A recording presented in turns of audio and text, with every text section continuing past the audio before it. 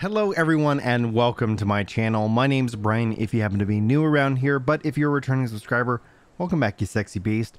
That's what you get for subscribing by the way, free compliments at the start of these videos. Now, this is my Ninja controller guide for Endwalker, but being that I don't know if you've seen my controller guides before, I'm going to walk you through the entire controller setup, and if you want more information beyond what this video offers, I do have a complete controller guide that is linked in the playlist below, so hopefully that helps answer any and all of your controller related questions. But welcome to the guide. The other thing I want to share with you guys at the right at the start of this is that all of my layouts that you see here used in these videos are actually sets of macros that you can easily apply for yourself. If you go and copy those and go into your user macros and actually start pasting them and then you can actually hit execute, it will set up your hotbars exactly like you see it here in these videos. But this isn't to sit here and say that my layout is the best layout. My layout is hopefully a really good entry point into the job itself, and then you can take it and make it your own. As always, I'm always curious to see what changes you ultimately make when it comes to these videos. But without further ado, guys, welcome to the guide. If you feel like it earns it, hit that like button and subscribe for more Final Fantasy content and rants. That's something we do here on the channel. But beyond just that itself, let's go ahead and first dive into your system and character configuration. Now this is where you're going to do most of your basic setup. But if you want a little bit more control, before we actually go to character configuration, go to system configuration and take a look at the controller gamepad settings. Now you can do some button configuration if you want to do a little bit more advanced stuff like you'll see here in this video, namely that I have my R3 as execute macro 99 and I do actually modify where my jump and my menu buttons are. So I actually swap those personally. But what execute 99 of the macro actually gets you, if you go back into the macros section, if I drag it over here, you'll see here uh, my movement macro. Uh, again, this is actually in the documents itself, but ultimately it allows me to have contextual based skill set. So I don't actually have to uh, put me my sprint or my flying mount roulette on my macros as well. So here's how that actually looks like. If I click R3, I'm out in a world so I can actually summon a mount and I go ahead and get on the mount. Now, if I'm going to go ahead and sprint, if I jump, I actually am now sprinting. If I'm doing PvP, I'll use PvP sprint. If I'm doing just a dungeon, I will actually use my sprint as well. So that's the contextual sense of uh, the R3 um, movement macro that I have configured here. So just note that's where you're going to see uh, that come into play. You won't see these listed on any hotbars. But back into character configuration. Under general, I use legacy type movement. That means my camera, my character moves however I want it to. If you want more that WASD you would want to check out standard type character based movement as well. Also, uh, further down the list here, you can see a bunch of different settings, especially when it comes to your inversion, both keyboard and mouse and first person, uh, as well as cutscene skipping. If you've ever seen a cutscene already in the game and you want to save yourself some time going into the content, you can turn that on. Under target, a new feature that was added recently, auto target according to priority, uh, closest ranged, or a line of sight. And then you can also enable full auto target. I highly recommend this as a controller player. This, especially with some of the abilities they introduced in Endwalker, saves you a ton of time and a lot less stress. But again, play with it, see if it feels good for you, and then go from there. Um, also, under the uh, filter section, when it comes down to target settings that I use, I have enemies set to when my weapon is drawn and nothing else. And then I have my custom for when my weapon is sheathed. You'll notice that I have party members turned off in both cases. And the reason is, is that up and down on your D-pad actually cycles through your party members, where left and right will actually then cycle through anything else that you want to see on the screen itself. That's going to be personally up to you. I find that the most comfortable. And then if you ever needed to focus just on party members and things like that, you can actually enable custom filters where you hold down left bumper and press any of the face buttons, A, B, X, Y, or square, circle, triangle, X, at cross square i don't know. Uh, the uh, and using that as a as a structure uh, for your uh, filters there. Now under the cross hotbar settings in this case uh, i have display hotbar numbers turned off. If you turn that on you'll see all these little floating hotbar numbers. I also have hide unassigned slots. If i turn that off uh, then you can see all these little extra gray boxes out there. I want to kind of keep that nice and clean and then overall, from a sharing uh, perspective, I am sharing just 7 and 8 on my cross hotbar and 6 through 10. This means that no matter what job, class, what I'm doing, this the abilities are always going to be the same on there. But 1 through 6 will always be job and class specific. Under the cross hotbar session, I'm using hold, but if you find yourself having hand dexterity issues, you might want to try toggle or mix modes to see if that is a little bit more comfortable for long playing sessions.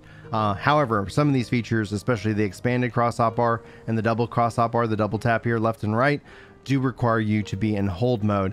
I also have always display the W cross hotbar and return to W uh, the cross hotbar after W cross hotbar input. So if I use something like second wind, automatically I'm ready to go back into my rotation. Uh, so this is something that is used as one-off abilities before it returns you right there. All of this is managed in your custom. So one of the things that I get asked is how do you drag and drop abilities here on to the uh, the W cross hotbar? And the answer is you don't.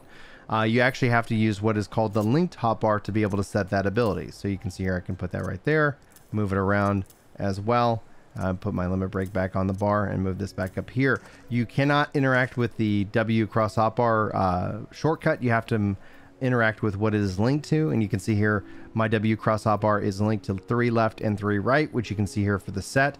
Holding down R bumper will allow you to actually cycle through with any of the face buttons to any of the sets, or you can actually tab between some of them. Just depends on how you have your set selection configured here.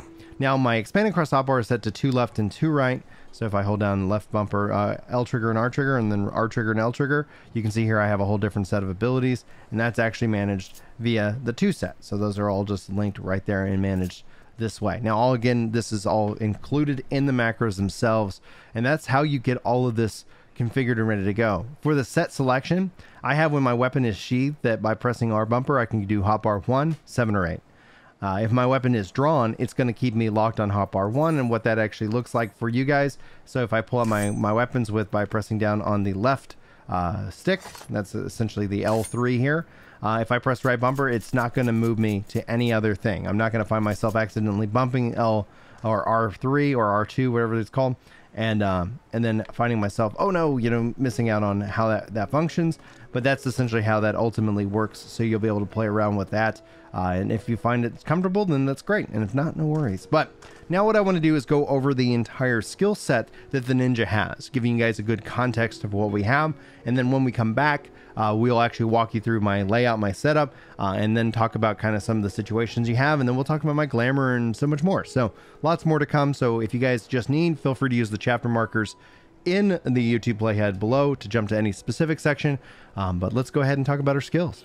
All right, so now let's go ahead and dive into our uh, weapon skills, actions, and abilities for the ninja. Just as a note, uh, if you guys are new to my channel and my content, I'm probably going to butcher some of the pronunciations that you see here today. It's not on purpose, it's just how my brain processes words. Uh, feel free to sound off in the comments below with correct pronunciations and I'll do my best to continue to educate myself so that I can actually speak fluently when it comes to words that are unfamiliar to me or words that I just generally struggle with.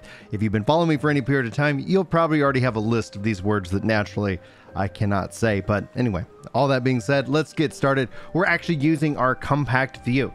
Uh, you can switch between the list uh, for the class and job or the compact view, which shows you the upgrades and combos within the game itself. I figured this will actually be interesting to check out. Let me know if you guys actually appreciate this view when going over all the different abilities. So, level 1, you get Spinning Edge. Uh, as a side note, this is level 90 potencies that are all shown. So as a, uh, these upgrade, uh, that's how it's going to be reflected. So if you see different numbers, one or two things have happened. Either you're not level 90 yet, or the game's been updated to make some potency adjustments. But we'll cover all that in future videos if needed. All right, Spinning Edge delivers an attack with a potency of 220. Uh, it also will increase your Nikki gauge by 5. This combos into Gust Slash with a potency of 320. You'll see if you do not use the combo, it has a potency of 160, so you are losing power on it. Uh, but a 320 combo potency with the Nikki gauge increase of 5. And then this can go into one of two abilities Algolian Edge.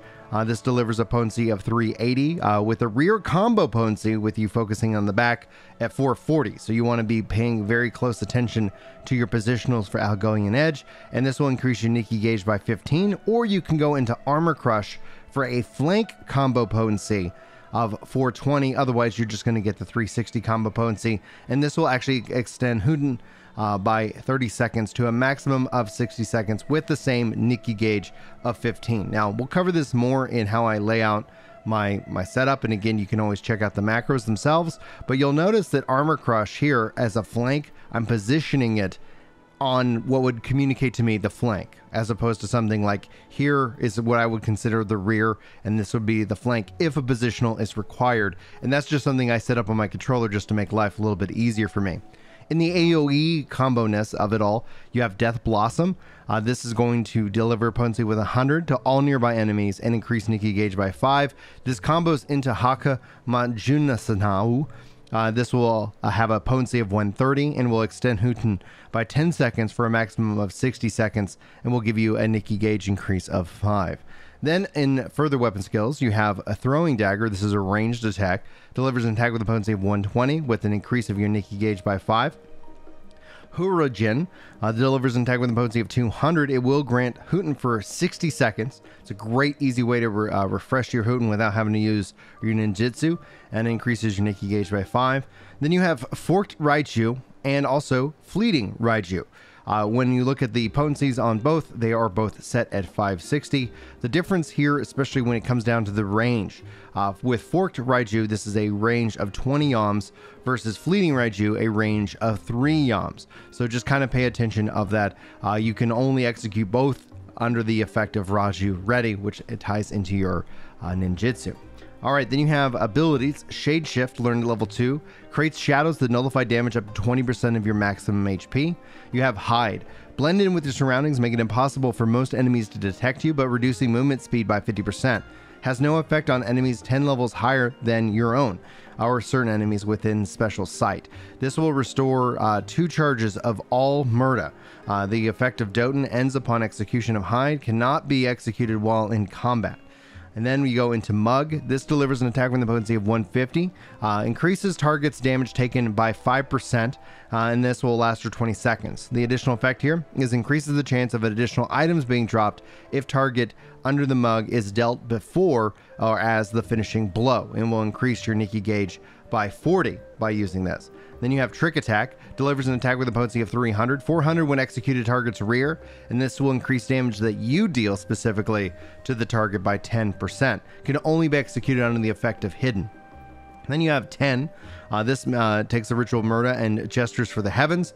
Uh, you have two charges of this. Basically, the 10 Chi and Jin are your three ninjutsu moves together. You get two charges of these. There's a way with Kasanu uh, to actually affect it to where you can use it as well, but we'll cover that here in a second. And then your ninjutsu action, depending on the order that you put in your Tenchi and Jin, will actually then uh, translate into which uh, ninjutsu you'll be using. Then you have uh, Shuka Kaju. Uh, this is going to uh, move quickly to the specific location of your choice. Then you have Kasantu. This is going to allow you the execution of a single ninjutsu without consumption of murder charges. Increases damage for the next ninjutsu action by 30% as well, and that will last for 15 seconds.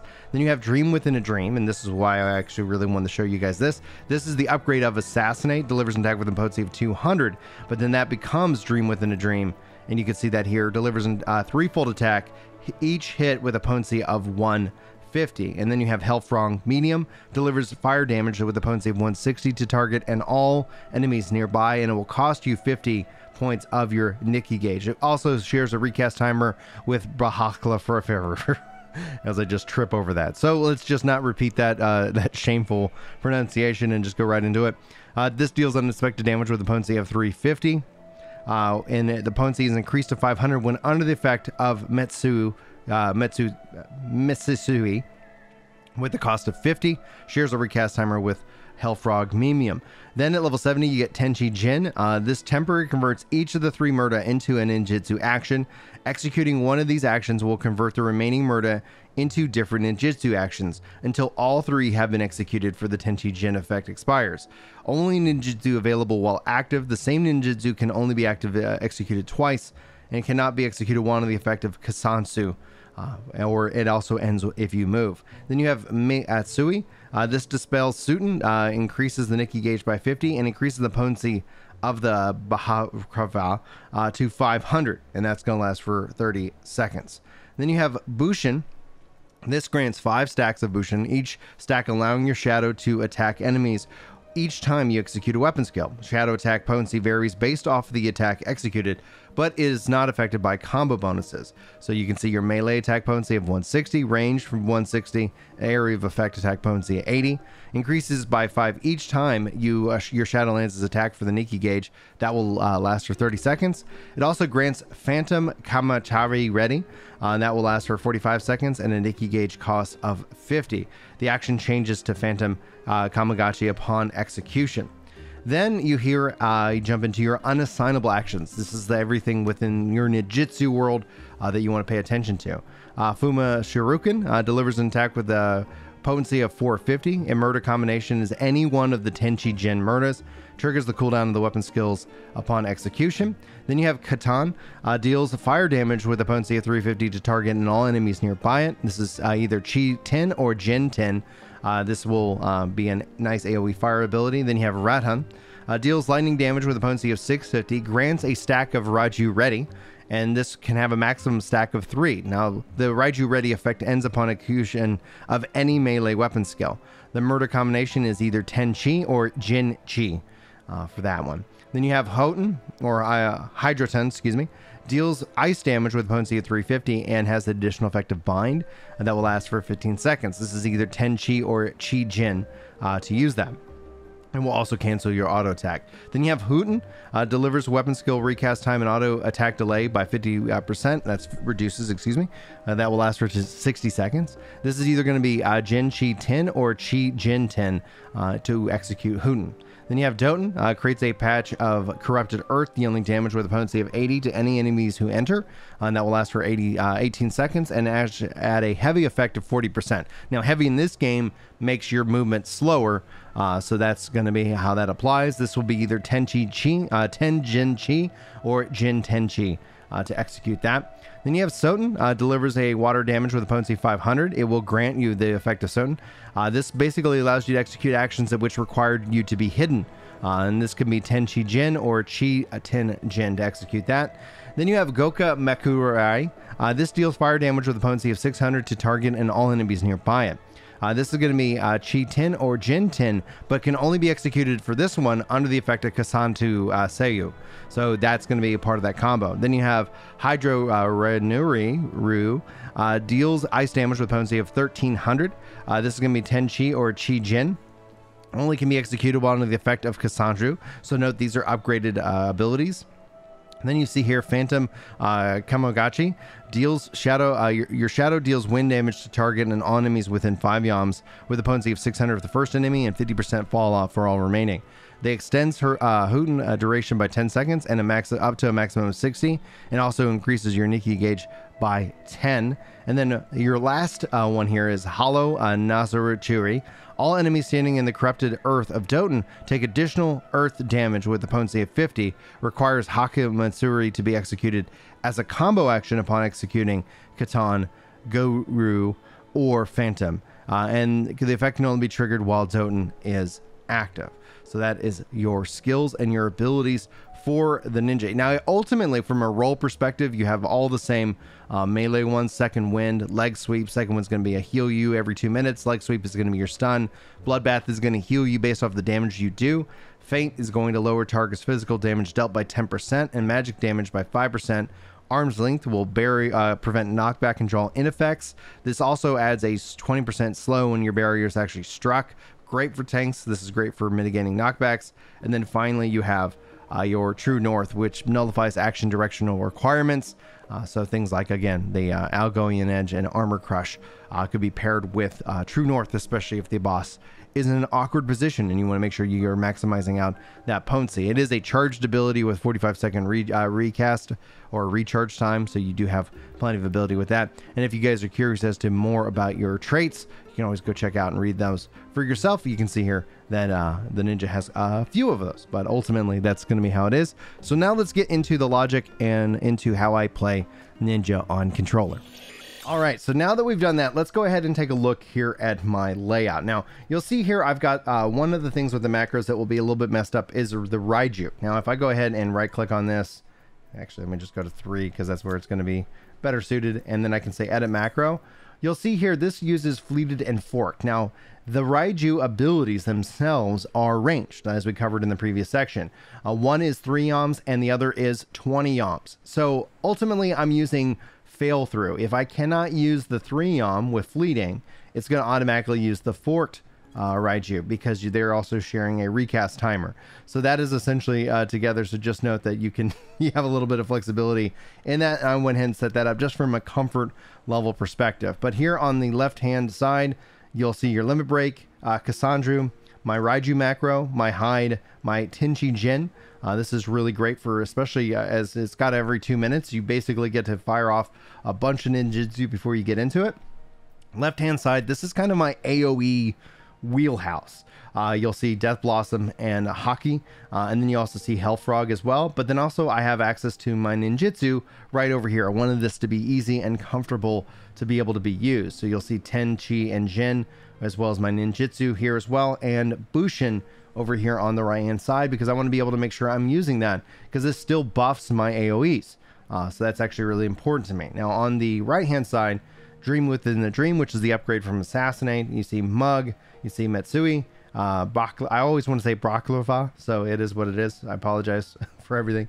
Uh, and then you see Spinning Edge, Gust Slash, Alugen Edge, and Armor Crush. And the reason you see Alugen there and then you see Armor is because Armor is going to be a flank positional and Alugen is going to be from the rear. Uh, so that's going to be very important. You can always modify these with True North to be able to have a little bit of flexibility. Now, if we go into our uh, W cross up our right, you'll see Second Wind and Bloodbath, some self recovery here.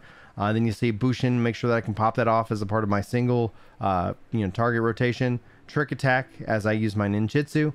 Uh, Tenchi Jin, uh, my n- preventing knockback with arm's length. Hide, again, true north. And then if we go into my expanded hotbar set, you'll see here on the right hand side ninjutsu, Tenchi Jin. Uh, then I see throwing dagger over here, my Raiju macro, my uh, hurricane, and my Kasanu. And then over here on the uh, left hand side, you'll see my uh, my gap closer, my throwing dagger, my hurricane, my stun, true north, shade shift, feint, and uh, there as well. And kind of how I put this all together, kind of just in a bare, uh, brief kind of macro setup. If I want to then begin my my targeting and my attacks, if I want to go over here to do something on the flank, come back into it. Let's go ahead and do some Bushin. Get that extra damage, build up that Nikki gauge even faster. Now, here's where it gets real fun, because one of the things I want to be able to do is obviously pull off my various different ninjutsu. I can fire out 10 T Gen, go right into it. This also then gives me that fleeting Raiju. I can pop this on.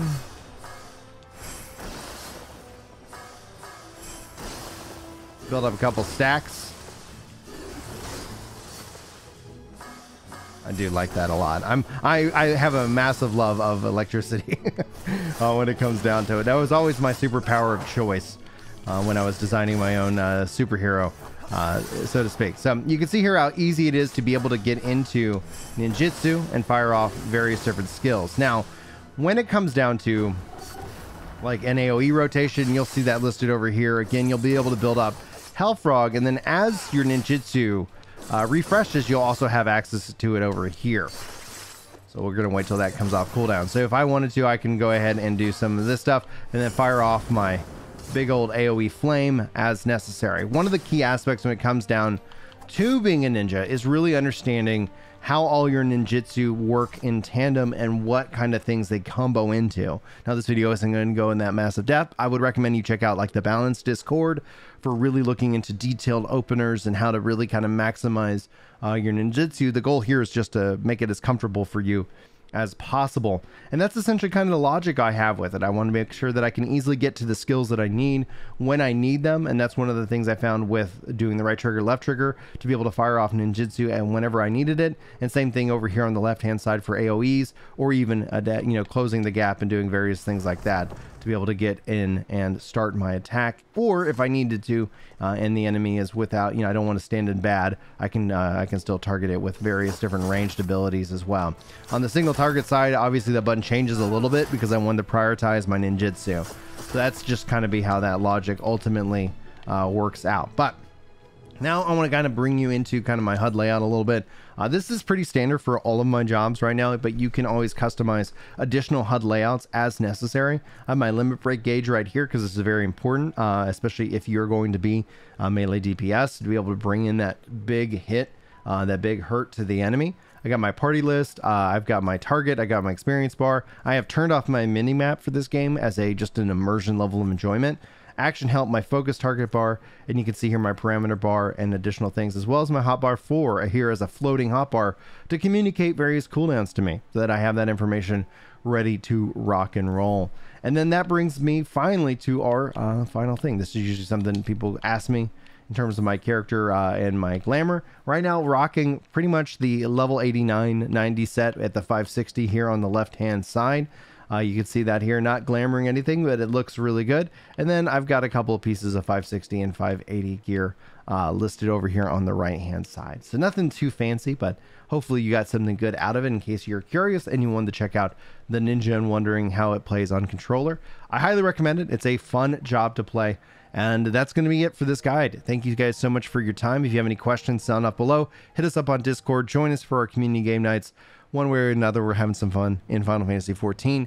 Um, but without further ado, I'm going to wrap it up. I've gotten um, Dragoon to work on next. I know that's been a hotly requested uh, melee job, and then we'll probably do uh, we'll probably do a poll, see what you guys want me to work on after that. But anyway, guys, thanks so much for your time. Hopefully you enjoyed this video. Hopefully I'll see you in my next one. But until then, take care. Yeah.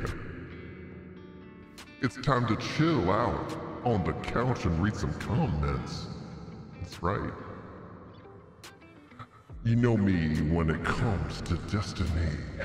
I'm off with the clan, and I'm glad you're feeling better. Oh, yeah.